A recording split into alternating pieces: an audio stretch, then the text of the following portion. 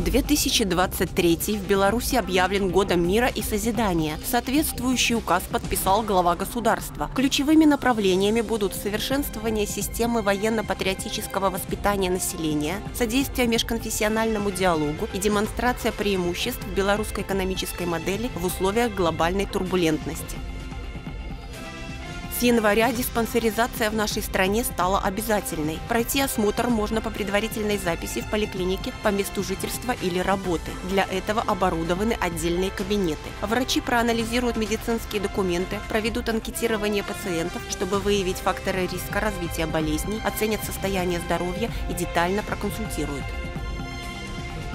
В Беларуси на этот год запланировано увеличение отраслевых надбавок медикам, учителям, соцработникам и воспитателям. Они прирастут почти на треть и составят 900 миллионов. Неприкосновенен в госбюджете и семейный капитал. Зарезервировано свыше 400 миллионов рублей. Всего на социальную сферу направят более 27 миллиардов.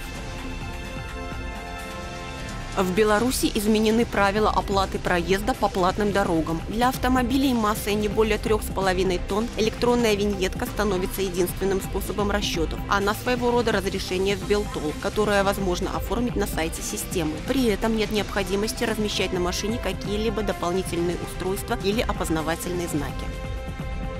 На вторник объявлен оранжевый уровень опасности. Порывы ветра местами могут достигать 20 метров в секунду. В целом будет облачно с прояснениями. Преимущественно по северу страны прогнозируются осадки, в основном дождь. Температура от 4 до 10 градусов тепла. На отдельных участках сохранится гололедица.